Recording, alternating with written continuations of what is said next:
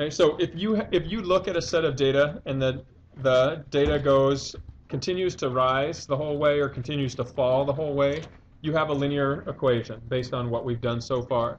However, in this case, from 0 to 2 it rises and it keeps rising up to 4, but then it starts to fall. It goes back down. So your your information is going up or your values are going up and then down. So that's modeling a parabola or a quadratic regression. And so you do need to be able to identify visually what you're looking at and then be able to find an equation for the line of best fit for that as well. Okay, so let's say we take this this set of data and we I asked you to find the line of best fit.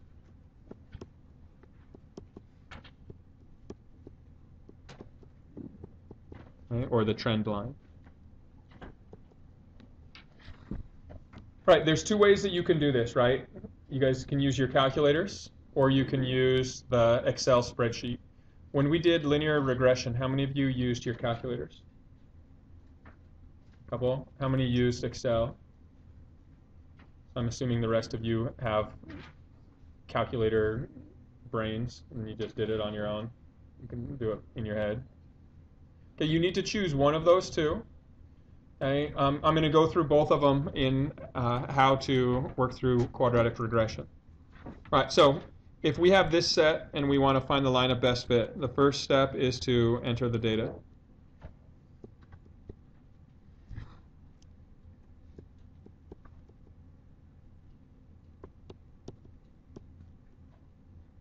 All right, so in order to enter the data, you need to go to the data matrix editor.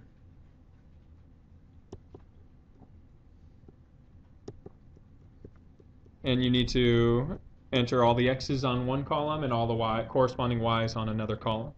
Okay, so if we go to our data matrix editor, for me I have to hit this apps button.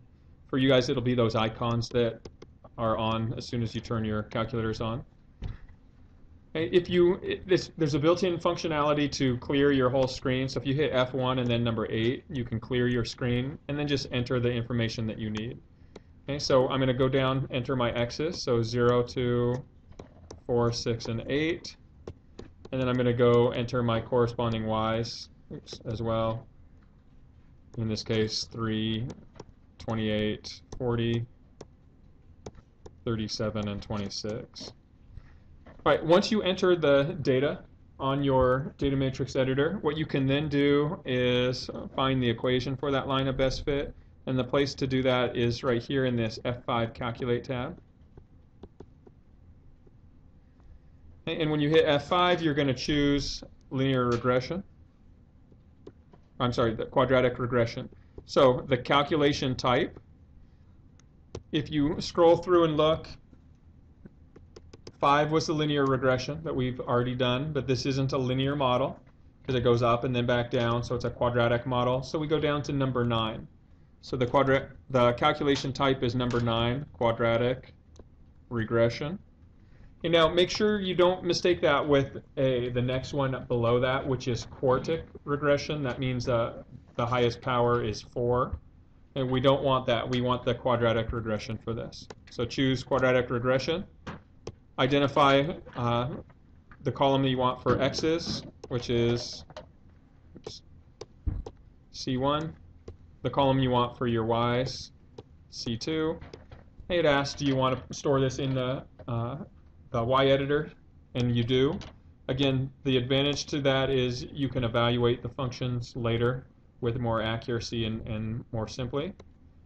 And when you hit enter, it gives you the variables for your equation. So because I chose quadratic regression, it's going to give me the form y equals ax squared plus bx plus c, the standard form for a quadratic. And then it's going to give me the, the coefficients for each of those. So my answer is going to be y equals negative 1 point, uh, let's say 5536 x squared. My b value is 15.1786 approximately x. And my c value was 3.3714 approximately. All right, so the advantage and disadvantage to using your TI-89.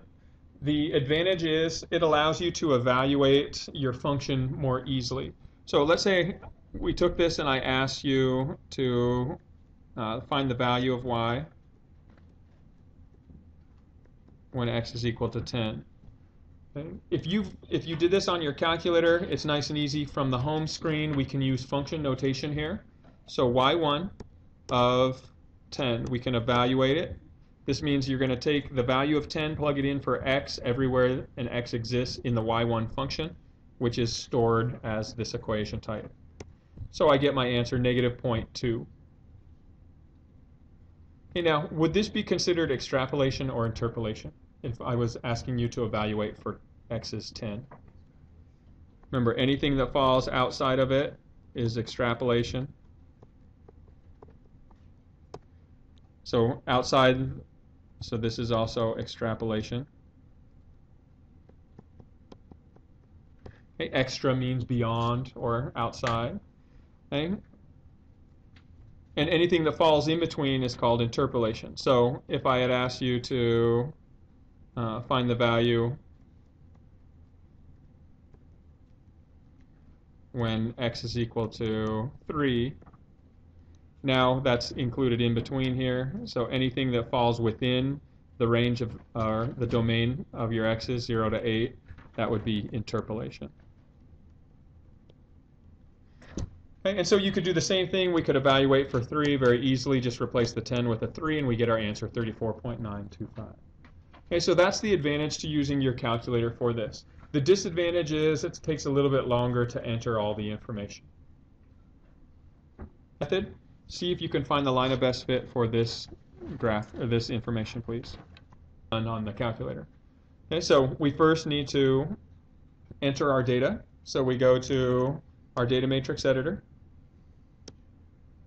and just use the current again even if we just did what we did the x's are all the same 0 2 4 6 8 we just change the corresponding y's so 4 23 30 25 and 7 and then you're going to hit this F5 calculate tab. We're going to choose the calculation type of, of quadratic regression which is number 9 make sure it says quadratic not quartic. Identify the variable or the column number, so C1 for the x's, C2 for the y's. We are going to store this so we have access to it later if we need it, and we get our equation here, which should be conf confirm what we got on Excel, which is negative 1.5357 x squared, our b value 12.6857 x, and then our C value 3.9143 approximately.